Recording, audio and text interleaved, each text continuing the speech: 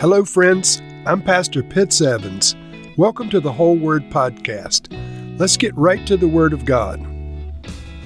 We're about to hear from Job's second friend, known as Bildad the Shuhite. Now, this, this reference to Shuhite, there's no firm agreement among scholars as to what this is saying.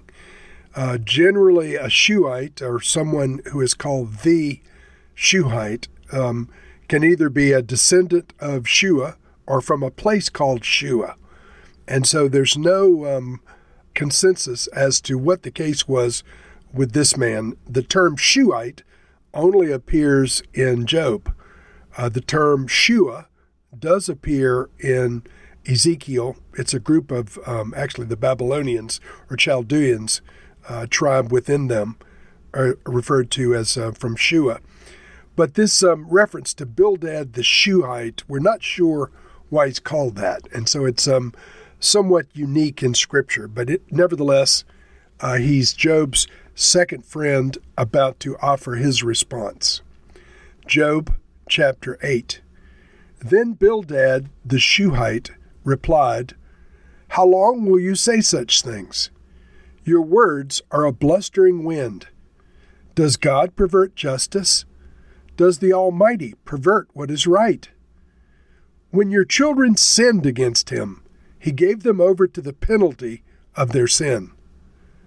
But if you will seek God earnestly and plead with the Almighty, if you are pure and upright, even now he will rouse himself on your behalf and restore you to your prosperous state. Your beginnings will seem humble so prosperous will your future be. Ask the former generation and find out what their ancestors learned. For we were born only yesterday and know nothing, and our days on earth are but a shadow. Will they not teach you and tell you? Will they not bring forth words from their understanding? Can papyrus grow tall where there is no marsh? Can reeds thrive without water?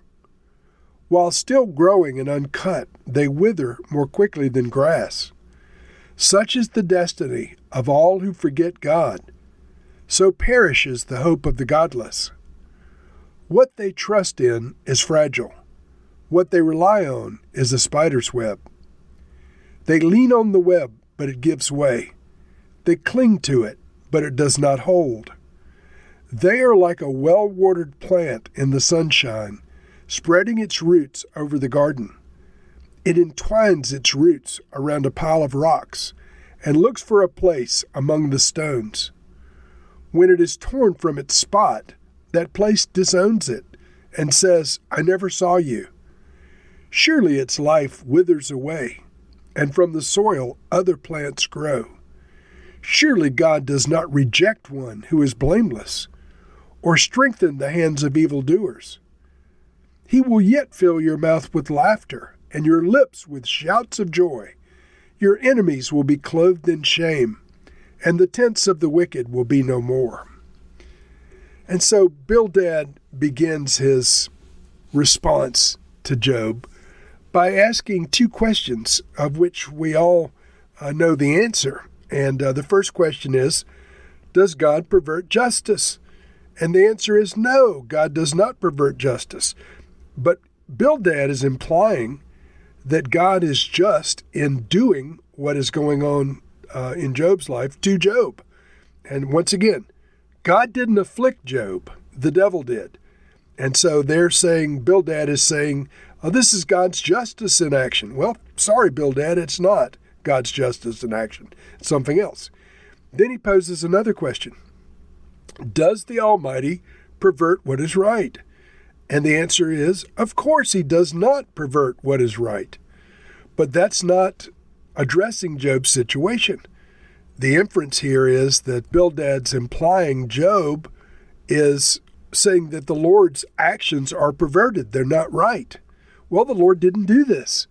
And so Bildad is off off base with the accusations or the responses. He goes on to take another shot at the cause for the death of Job's children. And friends, we've got to assume among all of the tragedies that have befallen Job, the loss of his ten children must be the, the worst of all of it. And so, hence, um, Eliphaz addressed it and implied that they brought it on themselves. And here, um, Bildad does the same thing. He says, When your children sinned against him, he gave them over to the penalty of their sin. In other words, their sin brought on their death. It was not a tragic accident. It wasn't the work of the devil. It was their sin that brought it on them. That's what he's saying. That's just not true. And so Job's children uh, were victims of a tragic accident brought on by the, the wiles of the devil. A windstorm blew down the walls of the house they were in, crushing them to death. But there's nothing in the text that indicates they had sinned and caused this to happen nor was this the penalty of their sin. So this is a, a false accusation Bildad is making.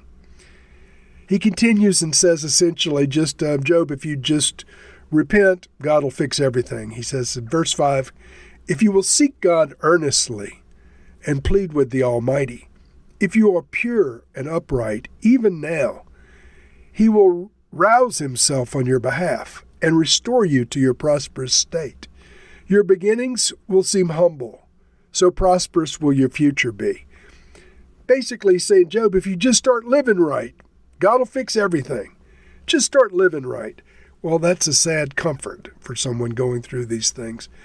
And then he appeals to history, saying essentially that um, uh, the things that Job is dealing with, the cause and effect, has been known for, for many generations. He says in verse 8 Ask the former generation and find out what their ancestors learned.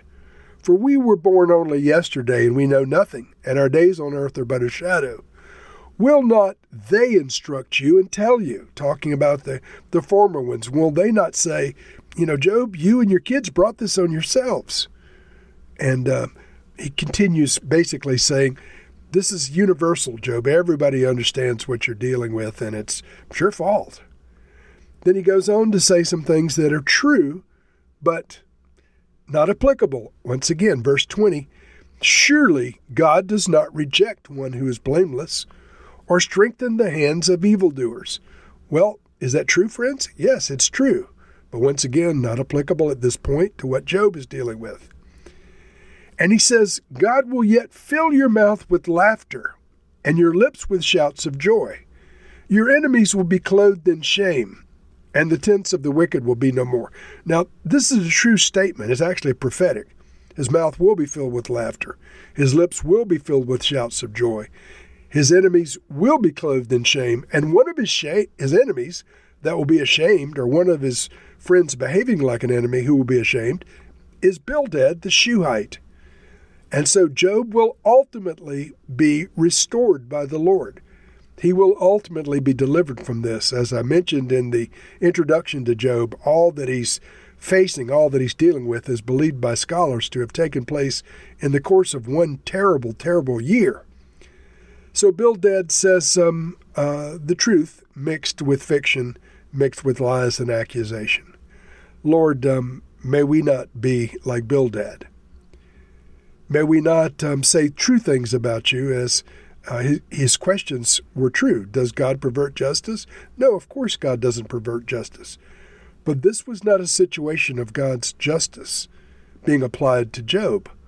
This was something else, altogether different, with the, the devil being allowed to attack Job. Lord, we don't need to defend you. You are beyond our, our need for explanation or defense. But Lord, may we not accuse you, and may we not accuse each other. Lord, help us to recognize once again that there's a lot we don't know. In Jesus' name we pray. Amen.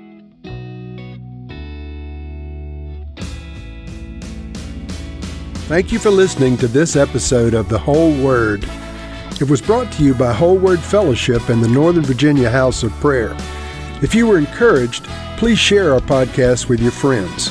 We'd also appreciate it if you'd hit subscribe in your favorite podcast app and take a few moments to write a review. If you'd like more information on our church and our ministry, you can go to wholeword.net or wholewordpodcast.com for more information. Thank you again, and may the Lord Jesus bless you today and always.